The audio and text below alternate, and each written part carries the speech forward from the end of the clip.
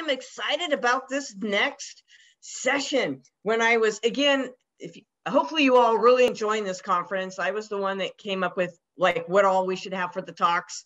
And um, i had a lot of ideas. We had a lot of ideas. And we were trying to figure out like are these kids going to hang with us all this time? Are they going to get tired?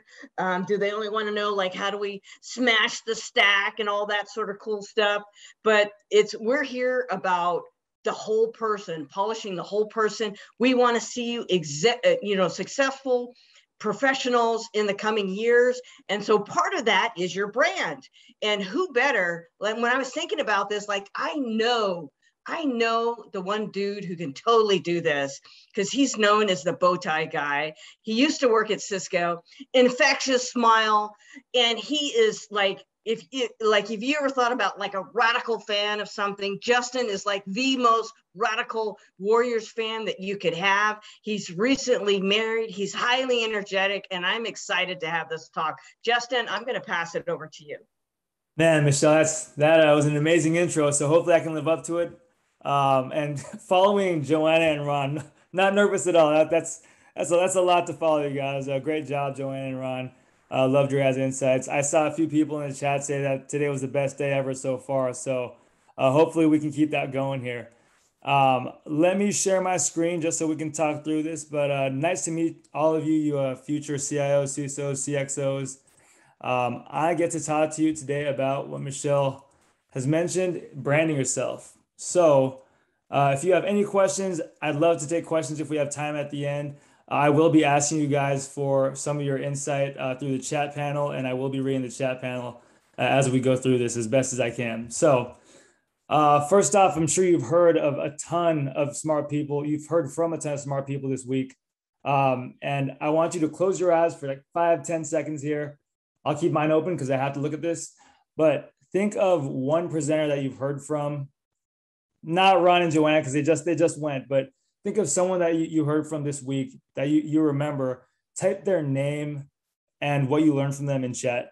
I just want to see what people have been able to brand themselves in just a short half an hour time span or, you know, hour long. Everyone. well done, James, James, coolest guy. Alan. So, all right. I need to meet this James person. Apparently he's amazing. Okay, of course, Alan's amazing. Lynn. All right, Michelle. Looks like uh, James is is uh, is my competition here. So I'll get to meet him one day. We'll see. so what I want to show you guys is that look, whether or not they meant to do this, but James, Lynn, Alan, Ed, they've all branded themselves. And you guys have all remembered their brands and certain things about them. Hopefully, all good things, positive things. So, my next question, which you don't really have to answer do you still have parent teacher conferences? Uh, I, I think most of you do, or at least have had them in the past. No, no, no.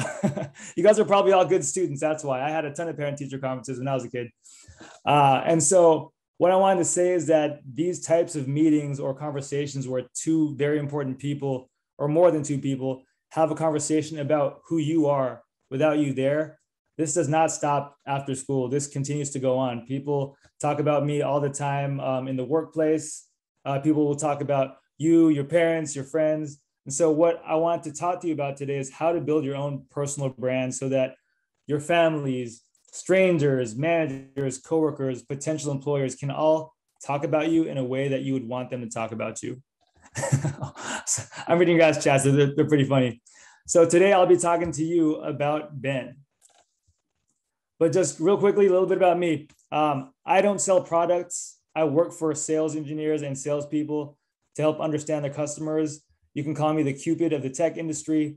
Uh, I connect different executives from my company to our customer companies, to our prospect companies, and pretty much uh, they help they help us sell our products because of, of their relationships that they've built over time. my, my bow tie's here, so we're good to go. Uh, and as Michelle mentioned, I recently got married about three weeks ago, so that's exciting. Um, we're doing fun facts. So, fun fact is that my wife and I actually got married in secret um, about two years ago, COVID. Uh, and uh, we also got married again a few weeks ago. And our biggest, our big wedding that we've been planning that we've had to put off for two years now. Thank you guys. Uh, our third wedding is going to be next May. So, we're going to get married three times. So, if we want to talk security, that's that's that's marriage security as much as you can get, right? Um, so moving into Ben. Now, me being completely non-technical, okay, I know all you guys are super smart. You're starting cybersecurity at a really young age, so you're way ahead of me. I'm the opposite of an engineer. Uh, I work at a top network management and, security startup. I worked at Cisco before this. I'd like to think I'm doing well. Um, but Ben is the reason why I've been able to overcome my lack of traditional and technical skills. Now, Ben is a personal guide on how to increase your job opportunities early on in your career. And what it stands for is branding yourself, evolving, and networking. So I don't know if you guys are taking notes, but that's an easy thing to write down. It's also easy to remember. You don't have to write it down. But for instance, branding yourself is know that everyone is always watching and assessing your character and your value. So whether or not you think someone's watching you or you're on stage or you're at work, people are always going to be making assumptions about you based off of what they can see. So th- I'll, I'll go more into that later. The E stands for evolve, and that means to embrace your strengths, but also outlearn others to outperform them. So it's important that you know your strengths, you know your weaknesses, decide which weaknesses are worth working on based off of what where you want to be in your in your life. If you want to be a CISO, obviously you need to study cybersecurity. If you want to be, you know, a chief product marketing officer, you have to study product. So it's about evolving, not just branding yourself and staying there, but to continue to get better and to add things to your arsenal. Uh, the last piece, networking, is to me the most important because if you brand yourself well, step one, you evolve well, step two, but nobody knows you exist or nobody knows about what you can do, then these first two things didn't matter in the first place. So make sure that you hit all three of these, and I'll tell you how you could do that in a little bit. Now, I'll have some interactive sessions here. I, I wish we were all in real life so I could just ask you guys on stage here, but um, let's just talk through the chat panel. So, can you guys type to me uh, what companies do you think have a strong brand? I might have to start calling it Benjamin from now on. Cisco, Disney, Apple, Nike, Apple, Apple, Apple, Nike, Google. These are all great brands. I agree with you guys. Potato chips, Starbucks for sure. Once you guys become CEOs, CIOs, and CISOs, you will need some Starbucks and maybe some Nikes to run back and forth um, can you name me some companies that have a, a bad brand? And you know, we're, we're not being mean here, but just you know, type to me what you think has SolarWinds. There we go, Michelle.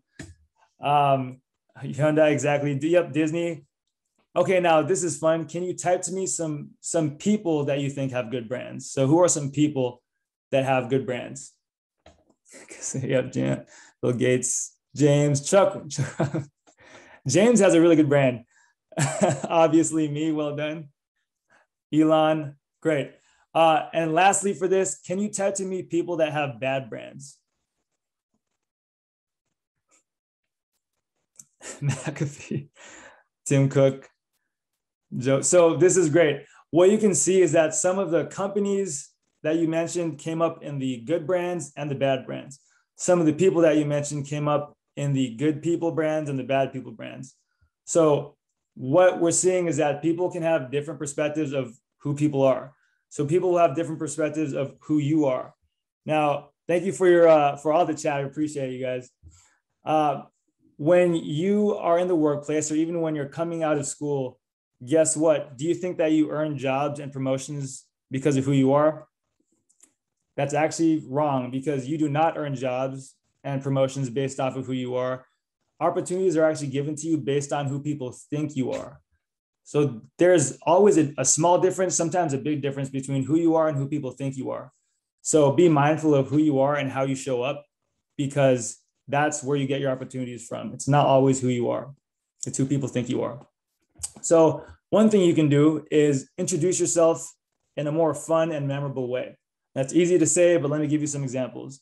So, if I'm going to introduce myself and I just say, Hey, everybody, I'm Justin Riray, and I'm a sales program manager at Tanium. How many people are going to remember that? Zero. I won't even remember that. But what if I say something like, Hey, guys, nice to meet you. I'm Justin Riray. Uh, I work at Tanium. It's a company that helps other companies see and keep track of all of their connected assets and devices. It's amazing.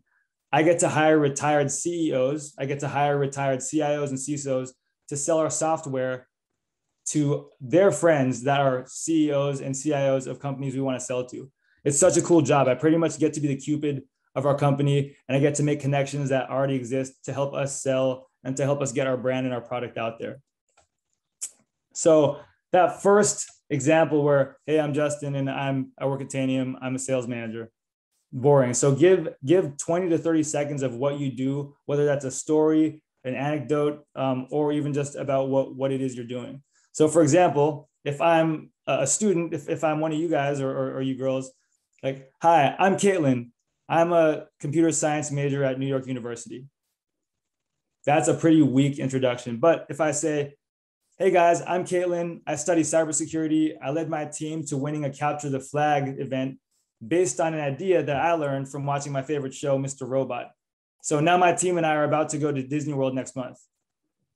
Even if that's kind of, you might think it's irrelevant, people are going to want to catch up with you. Like, hey, Hope, who's that Caitlin person that, that won to capture the flag? They're going to want to check in with you next month and see, hey, how was that trip to Disney World? So what you're doing is you're giving things people to remember about you instead of just reading off your headline of what your LinkedIn would say. So what I'm going to do is go into a quick thing about Steph Curry. Yes, as Michelle mentioned, I'm a huge Warrior fan. That's not why I'm using Steph Curry. But um, not only does he have his own brand of how he just like destroys his opponents on the court, but he's humble about it most of the time. But the reason I'm bringing him up is because be like Steph Curry, where you let your work speak for yourself, but you also are mindful about what brand you carry and, and how you carry yourself. He's so good at branding that his entire family has a brand. And I guarantee you there's like a PR person behind him and, and his family. But for the most part, just think of kind of being the best version of yourself at all times, not just when you're doing your job. so real quick story, let me just time check. We're good. Quick story of um, how I branded myself as a bow tie guy. Going into Cisco, I knew that there was going to be hundreds of, of young people that were smarter than me, that were better than me, that did different things, that had better backgrounds. So I, I really thought, how can I, you know, stand stand out uh, from all these people? Uh, I had a cheap way to do it. I had one bow tie that I bought for for a wedding a couple months before, and I just I put that bow tie on on my first day. Uh, first day went really well. I got at least a dozen compliments on the bow tie. So I thought, all right, well, what if I just wear the bow tie the next day? so I changed my whole outfit. a top, I see someone wearing a top hat. Uh, I wore the same bow tie, and it just happened to be the big company meeting that only happens every six months at Cisco. So somehow my teammate got me a front row, third row seat right in the middle. And about two minutes before the big company meeting started, the CEO at the time, John Chambers, he walks right up to me and says, Hey, young man, I love the bow tie. And so I joked, I'm like, John, I stayed up all night trying to tie this for you. I was on YouTube, I was sweating, my arms were cramping. So we ended up actually talking for a couple minutes before the show started or before the, the meeting started. But what that showed me is, man, you know, like 100,000 people at Cisco. This guy has no idea who I am. I just started at this company, but he spoke to me out of everybody in the room because I had something that was different that he could see. So even though I'm going to talk to you mostly about branding yourself, you know, mentally, emotionally, and, and how you interact with people, you should show up in a way that you want to be remembered at work. So dress well, do your hair a certain way. I don't know, wear Warriors jerseys every day, but be memorable and and and be who you are, be genuine because people will remember you for that. So the reason I'm showing this screen is because a big part of branding yourself these days, especially because of COVID, especially because of social media, is your Google page. So guess what? You don't control your Google page really, but you do control your social media and you control what you post and you kind of have a say in what people post about you. So what I'm showing you is um, on the left side, I guess type in like Google or type type in your name, whatever you want to type in. If you have ever Googled yourself, just say yes. and so no, yeah, okay. So I'm seeing a lot of yeses.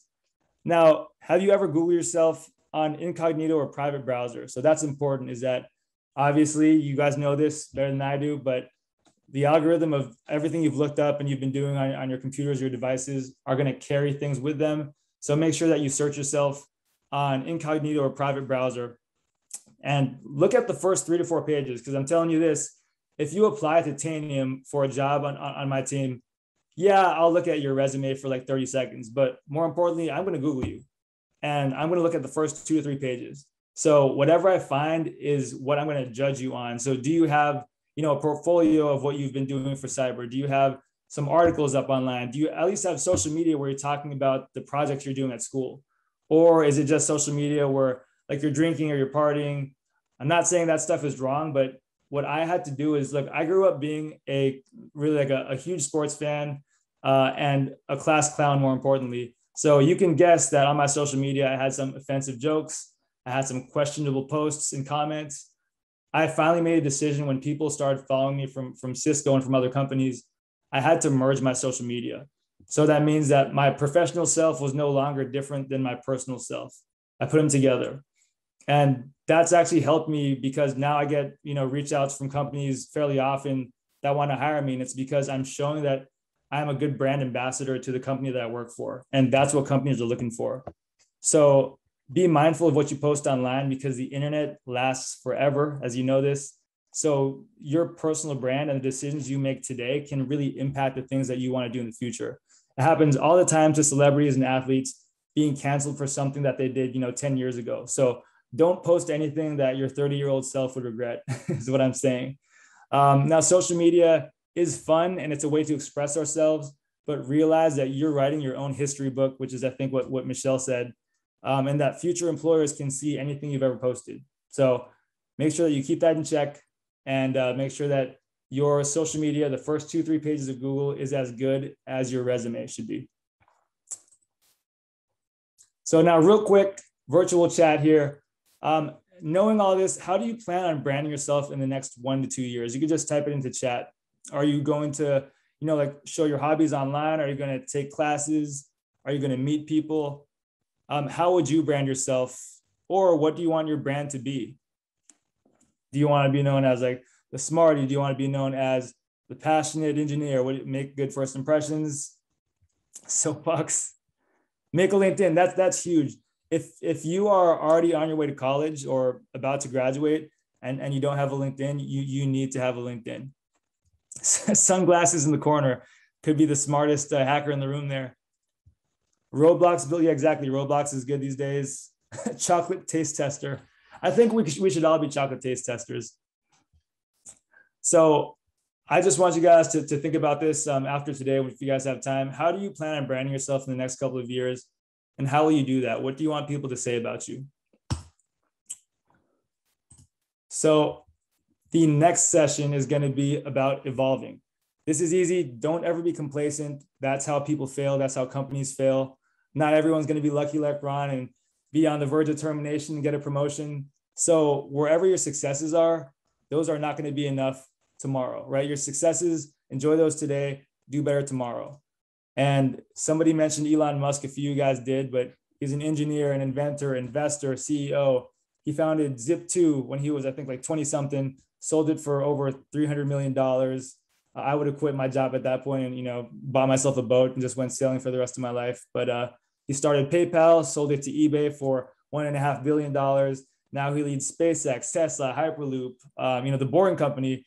He's he, this guy is the the epitome of human evolution. So, I'm not saying you should be Elon Musk. That's that's a hard person to be, but learn things before you're forced to learn them. Learn early.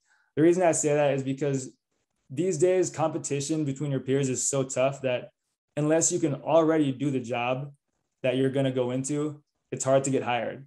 I'm not saying you have to be able to do a job perfectly before you get there. Obviously, we have to learn, but there are easy things you can do, like use YouTube videos. There are certifications you can get now. Um, there are groups or personal coaching. There are you can read books. You can read, you know, you can take community college classes. You can even just have conversations with friends or mentors or your, your parents' friends.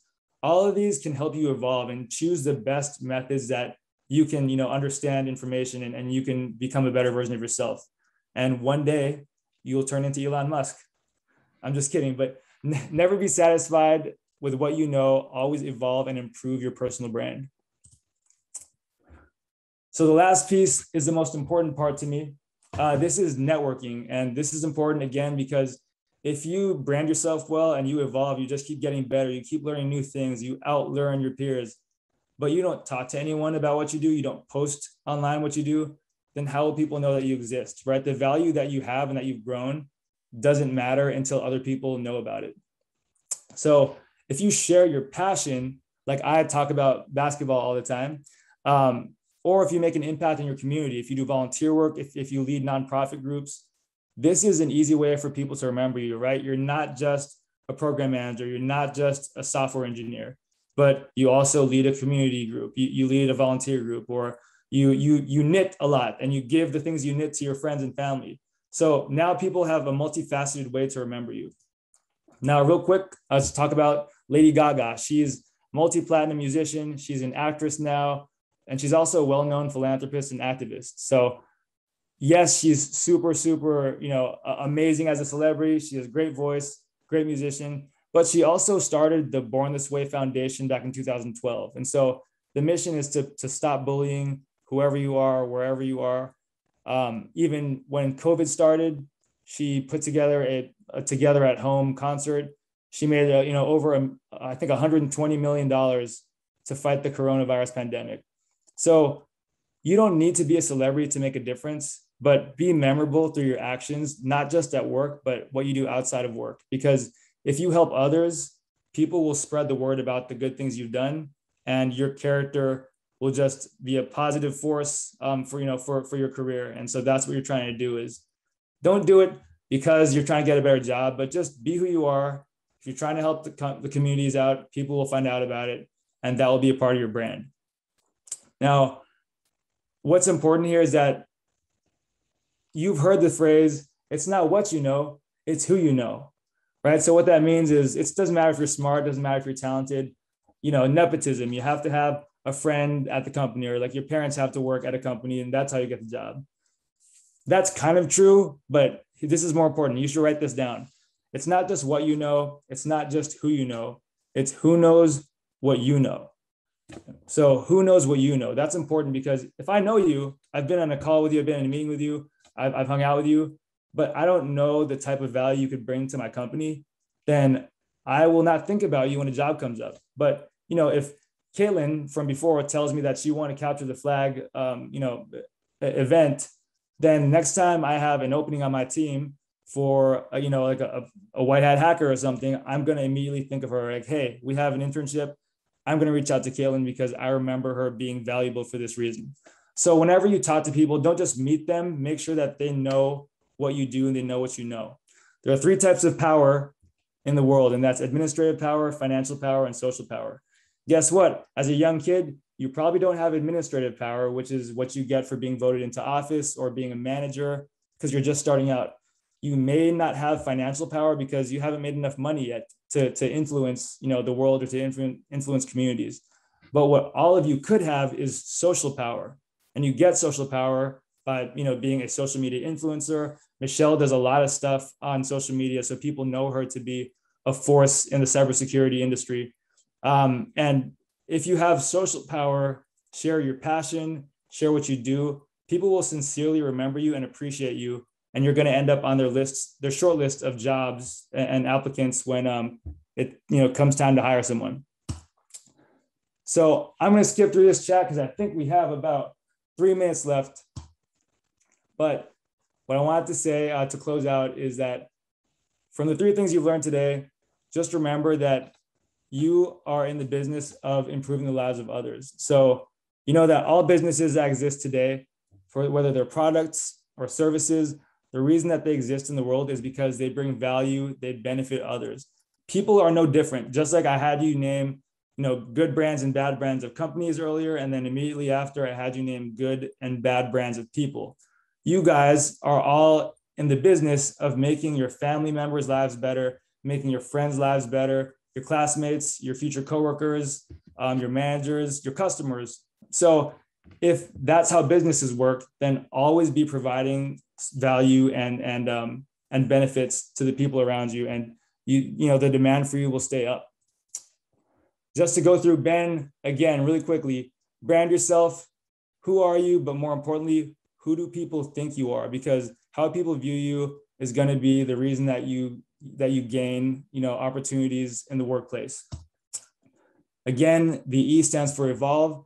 Outlearn your peers and learn things that they're not learning go deeper into subjects, go, you know, broader into subjects, but learn as much as you can before you get the job because when the interview happens and they find out that hey, you can already do everything, we don't have to teach you, easy to hire you there. You'll get hired, you'll get the big bucks. And then, of course, the last thing that's most important is network. It's not what you know, it's not even just who you know, it's who knows what you know. So make sure that you get your name out there, whether it's in person or you're posting on, on social media, on LinkedIn. That's just as important as making sure your brand is set and you're evolving yourself every day. So, because I like puns, benefit yourself to benefit others. And that's how to use the power of Ben. That was fast, you guys. I usually do this in an hour. So hopefully that sticks with you. I'm happy to answer any questions in like the one minute that we have left. hey, Justin, I hope you have a couple minutes because we have some questions in the Q&A section. Man, yeah. I learned something, and I'm part of the Senior Citizens Denny Meal Club, uh, Justin. So I learned to have a boring intro, but this is a great, a great topic. You did an excellent job of delivering it. Uh, and I want to start with the last question that came up here: is do you have any tips for people who have social anxiety or introverts like me, or mm-hmm. people who are just shy in general, um, that would just rather just work than talk to people? I, I love this question, and I actually I, I started answering this question before Q and A, but again, I usually have an hour. Had half an hour today, and so what I'll tell you is that if you have social anxiety or if you're an introvert, guess what? I'm an introvert. Uh, the COVID was like the best thing that happened to me for my work.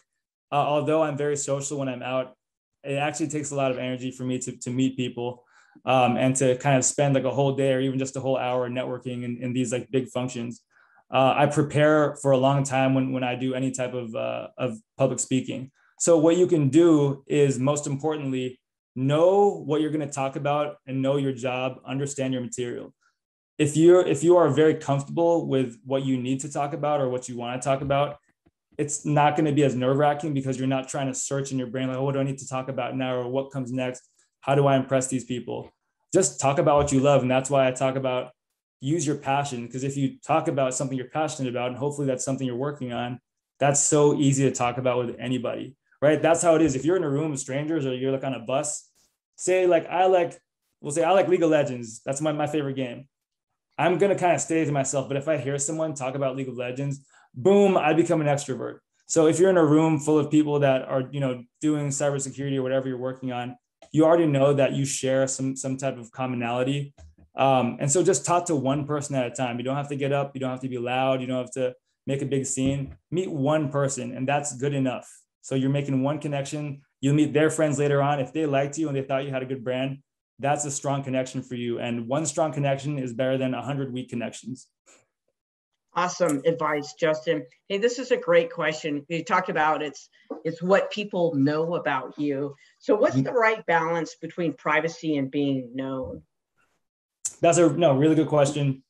First off, it always depends. There's never an answer. Depending on where you work, what industry you're in, what culture you come from, there's a different balance of how you should act and what type of information you should share. You have to decide what you want to, to, to estimate, right? Because say you have one day or one week with all these people, if this was in person or even if it's not in person, you have to decide what do I want to show about myself right off the bat? Because if you go, you know, I'll talk about Warriors games, I'll talk about video games I play that's what they're going to remember about you in like the 30 seconds that they had. But if you stay more professional and you just talk about what you do for work, that might not be as memorable because you know they don't gel with you as much. So you kind of have to make a call whenever you get a first impression chance. Every first impression is an interview for a job at some point. Even if you're talking to other college students or other high school students, those people could eventually give you jobs. When I went to school, I've now hired four of my friends to, to different companies because I knew them when I was in class with them. So your first impression is really up to you how you want to build it. Do you go personal, memorable, or do you have such an exciting job that you can go with your job first? It's up to you.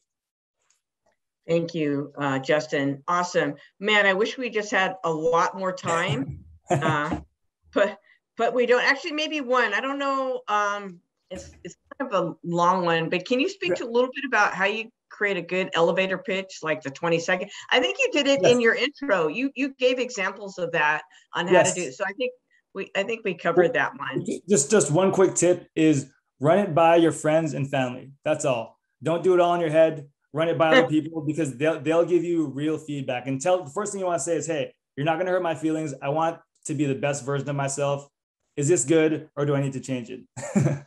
yeah. So in, in terms of tweetable quotes, that was definitely the one that I would tweet about this conversation. Be the best version of yourself. Uh, and everything I've ever seen about Justin is rocks. I mean, from the infectious smile to the very creative bow tie. And hey, guys and gals on this call, he showed up to company meetings with those wild cloud suits, those flowers like the heart suits. Justin did it all because he could do it and that was that was his brand and i love the cupid uh, being the cupid in terms of connecting all the companies and you do that quite well justin. The stream the chat stream has been wonderful. I mean this talk really resonated with our audience and i think it's important because they're i mean i know i made some like bad decisions in my younger years and, and I we all did. Yeah i see stuff that my grandkids are posting. I'm like uh, maybe that's you know if you're looking for a job maybe not posting all those you're at disneyland uh, pictures. And so great job justin. You actually got the designation of the goat so that's thank you, Ramirez. Yeah, hands down. Thanks, Thank you so much, Justin. It's been awesome. Thanks for coming by and encouraging the, the crowd. And I look forward to seeing you in the internet space. And I'm excited yes. for you and your marriage. I remember when you when you blogged about meeting her and when y'all yes. were going to married. Super exciting.